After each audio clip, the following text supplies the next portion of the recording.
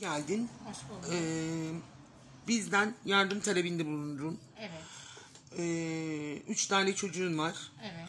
Eşin, Çalışmıyor. evet. Ee, bir tane engelli çocuğun olduğunu Evet, söyledin. yüzde yüz engelli. Yürümüyor, konuşmuyor, algılamıyor, görmüyor, ağızdan beslenmiyor. Mideden Ha, besleniyor. Anladım. Ee, hiçbir geliriniz yok. Yok, hiçbir gelirim yok. Bir tek Çocuğun aldığın engelli maaşıyla maaşı, bir tek o. Başka da geçinmeye yok. çalışıyorsun. Aha, o da kıt kanaat. Ee, bu yavrular senin, Evet, bunlar benim senin. Aha, Evet. Bunlar için kıyafet, ayakkabı istiyorsun. Kıyafet, ayakkabı, gıda olursa çok iyi olur. Hatta e, kızımın beslenme sontasını karşılayabilseler çok iyi olur. Gücüm maddi durumum el vermiyor almak için. Tanesini 250-300 milyon alıyorum. Kızının beslenme sondası için Evet.